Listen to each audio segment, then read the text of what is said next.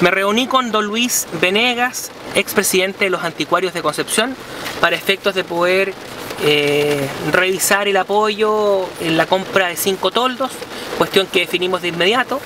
Lo apoyé financieramente, los toldos se van a comprar y se van a entregar prontamente a estos cinco representantes de los anticuarios de Concepción que requerían un toldo que a través del apoyo antes mencionado lo van a poder adquirir de inmediato.